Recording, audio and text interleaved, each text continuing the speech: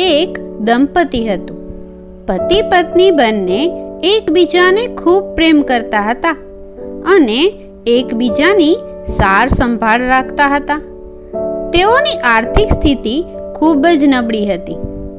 એક દિવસ પત્નીએ પતિને કહ્યું, ભગવાને મને કેટલા સુંદર લાંબા વાળ આપ્યા છે, પણ આ વાળમાં નાખવા માટે એક પણ સારી હેરપિન નથી ઘરમાં. મને એક સારી હેરપિન તો લાવી આપો.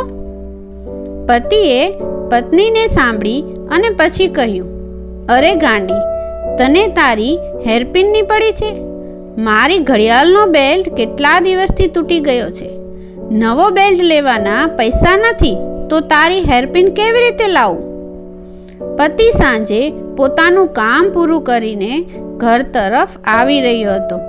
રસ્તામાં ઘડિયાળવાળાની દુકાન આવી એટલે ત્યાં જઈને પોતાની બેલ્ટ વગરની ઘડિયાળ વેચી નાખી અને મળેલી રકમમાંથી કટલેરીની દુકાન પરથી પત્ની માટે સુંદર હેરપિન લીધી. ઘરે આવીને બારણું ખખડાવ્યું. પત્નીએ બારણું ખોલ્યું અને પોતાની પત્નીને થોડી વાર તો સુનમુન બનીને જોઈ જ રહ્યો.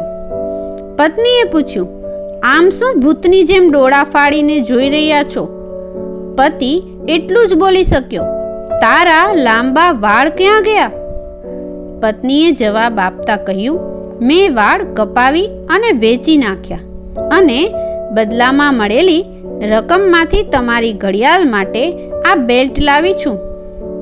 પત્નીએ બેલ્ટ પતિના હાથમાં મૂક્યો અને પતિએ પત્નીને બધી વાત કરીને એના માટે લાવેલી હેરપિન એના હાથમાં મૂકી.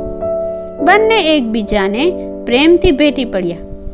સંબંધોને જાળવવા અને વિકસાવવા માટે સામેવાળી વ્યક્તિ મારા માટે શું કરે છે એ નહીં, હું સામેવાળી વ્યક્તિ માટે શું કરી શકું એ વિચારજો.